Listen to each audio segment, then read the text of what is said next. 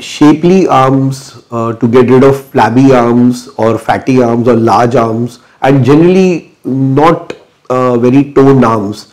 We have a lot of options. Of course, one of them at CPLSS Mumbai and at CPLSS Pune, what we do is liposuction, high definition liposuction to get rid of excess of fat in various regions like the undersurface, on the top, uh, to give good, nice, shapely toned arms.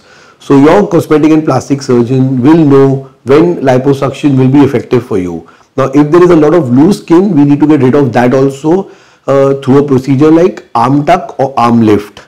Uh, there could be a small cut in the axilla and pull the loose skin if it's not too much or there could be a large cut on the undersurface sutured very aesthetically to minimize the scar uh, by a good or the best cosmetic and plastic surgeon in order to get proper shape.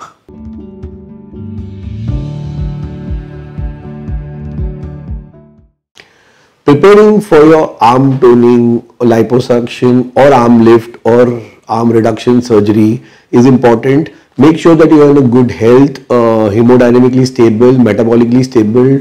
If you have got diabetes, blood pressure, any heart ailment, completely it should be stabilized. If you got thyroid, etc., take your medicines regularly and uh, generally keep time later because you will require recovery period of 2 to 3 weeks or even 4 weeks post surgery. So make sure you have that adequate amount of recovery period post surgery.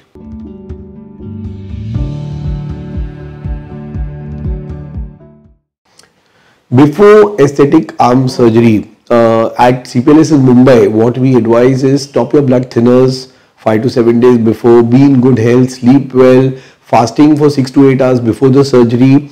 Uh, of course, a detailed consultation with your cosmetic and plastic surgeon to understand what you need, what are the side effects, how much recovery period you have, what kind of scars will it leave, is those scars acceptable or not acceptable to you the cosmetic and plastic surgeon also needs to understand the psychology of the patient, the emotional needs, and of course, what are the expectations of the patient and can you deliver these?